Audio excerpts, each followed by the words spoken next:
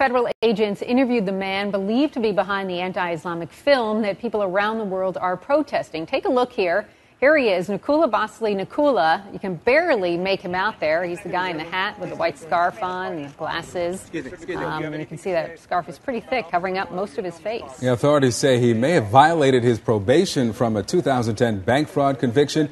We're still learning more about him, but CNN's Miguel Marquez has been staking out his house near Los Angeles for days.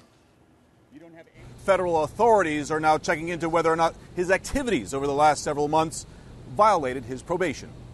The spotlight on the mysterious filmmaker growing stronger. Federal officials say the court is reviewing Nakoula Basseley Nakoula's case to see if he broke terms of his probation. Nakoula faced 26 conditions for five years of supervised probation after his 2010 conviction for credit card fraud and identity theft.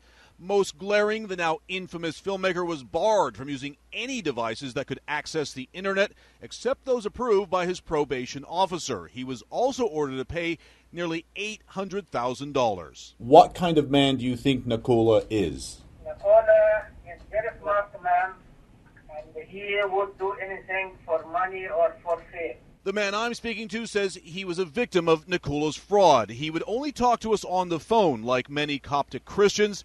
He now lives in fear. How afraid is the Coptic community right now?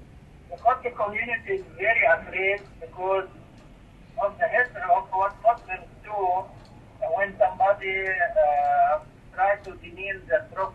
Nakoula made his film with well known anti Islamic individuals. Joseph Nasrallah, the president of Media for Christ, who also runs a satellite TV station in LA, obtained the permit for the film and allowed part of it to be shot in his studio. Islam come with a sword and they kill my people. Nasrallah also has ties to Steve Klein, the anti Islamic consultant on the film. He also speaks at events organized by anti Islam activists Robert Spencer and Pamela Geller.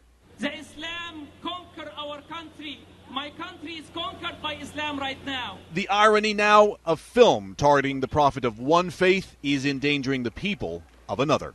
Two individuals representing themselves as lawyers entered the house a while ago. They said they came here at Nakoula's request. It appears that the world's most infamous filmmaker is now looking for options.